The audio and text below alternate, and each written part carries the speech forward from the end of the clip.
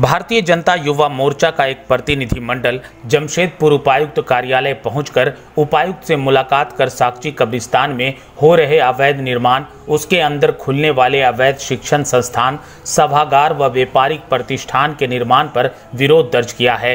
प्रदेश उपाध्यक्ष निशांत कुमार के साथ एक प्रतिनिधि मंडल उपायुक्त कार्यालय पहुंचकर सारी वस्तु स्थिति से उन्हें अवगत कराया। प्रतिनिधि मंडल ने बताया कि विगत एक साल पहले भी कब्रिस्तान में इस तरह के निर्माण की कोशिश की गई थी, जहाँ इस मामले को निर्वतमान उपायुक्त सूरज कुमार के संज्ञान में डालने के बाद सूरज कुमार के द्वारा त्वरित कार्रवाई करते हुए निर्माण कार्य को रुकवा दिया गया था।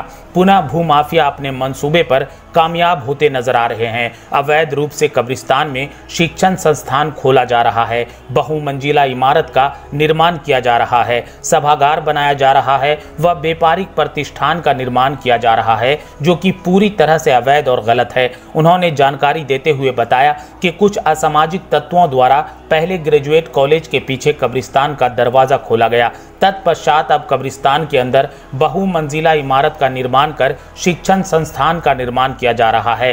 सभागार बनवाया जा रहा है। साथ ही साथ व्यापारिक लाभ हेतु प्रतिष्ठान का निर्माण किया जा रहा है, जो कि गलत है। सामाजिक सौहार्द को भी बिगाड़ने की पूरी तरह से कोशिश की जा रही है। उन्होंने बताया कि जल्द से जल्द उपायुक्त इस मामले में संज्ञान लेते हुए इस अवैध निर्माण कार्य को रुकवाएँ, अन्यथा भारतीय जनता युवा मोर्चा इस मामले में उग्र आंदोलन के लिए बात होगी।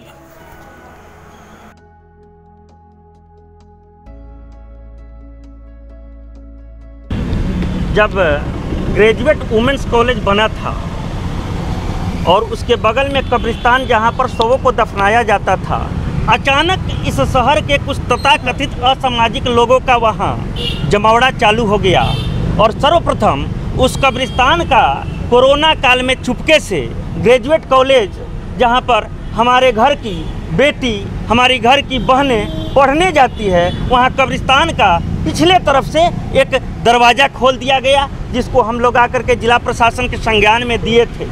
साथ ही ग्रेजुएट महिला कॉलेज बनने के बाद अखबार में आया आप सबों के माध्यम से कि उसमें बहुमंजिला इमारत खड़ा किया जाएगा, जिसमें कोचिंग संस्थान और मदरसा का निर्माण होगा। मित्रों, पत्रकार बंधुओं, आप सबों के माध्यम से एवं जमशेदपुर के प्रबुद्ध जनों से यह निवेदन करता हूँ कि क्या शमशान घाट में और कब्रिस्तान में कहीं कोई शिक्षा का जगह होता है? बिल्कुल नहीं। वहाँ फकीर, वहाँ पर अघोरी जैसे लोगों का वास होता है। आज जिस तरह से जानवर के लिए कोई दफनाने का जगह नहीं है, रोड किनारे फेंका जा रहा है। अगर ये लोग कब्रिस्तान पर कब्जा करके शिक्षण संस्थान खड़ा करेंगे और शिक्षण संस्थान के नाम पर उसका व्यवसायिक दोहन करेंगे तो क्या इंसान के दफनाने के लिए कोई अलग से जगह आएगा? बिल्कुल इनकी मंशा गलत है, एवं वहाँ गलत मंशा से कब्रिस्तान पर कुछ लोग कब्जा करने का प्रयास कर रहे हैं और कब्रिस्तान पर कब्जा करने का ही प्रयास नहीं कर रहे हैं, बल्कि सामाजिक सौहार्द को बिगाड़ने का काम कर रहे हैं, जिसका भारतीय जनता युवा मोर्चा पुरजोर विरोध करती है। और पिछली डीसी महोदय के सामने साथ भी हम लोग आकर बोले थे और सूरज जी ने उस अवैध निर्माण पर रोक लगाया था।